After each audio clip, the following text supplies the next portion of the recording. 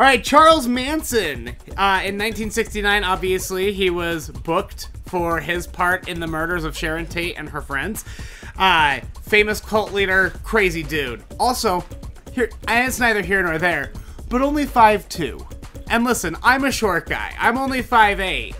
And I know firsthand how not seriously short guys are taken. I can't imagine, like, Charlie Charlie Manson actually able to like now you look here. You listen to what I have to say.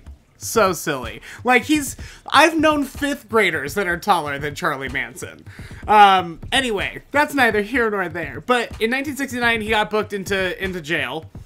His booking documents it's two pages long with his fingerprints on them are now for sale from a private collector uh, they're two pages long. They include detailed physical descriptions. So, like every part of his body, any scars, tattoos, anything like that. Phys- like detailed physical description of him, his fingerprints. It also has like his address listed as him being a transient uh, and stuff like that. So it's a really interesting, unique little piece of like serial killer true crime history.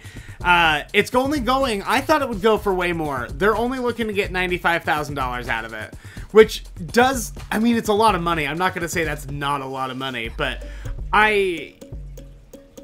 I think they could have gotten more, quite frankly, and I think Zak Bagans from the uh, Los An- or the Las Vegas Haunted Museum, I think he's gonna buy it in a heartbeat. He already has Charlie Manson's ashes, his cremains are in that museum, so I'm assuming he'll get those booking documents and just put them nice and framed right next to old Charlie.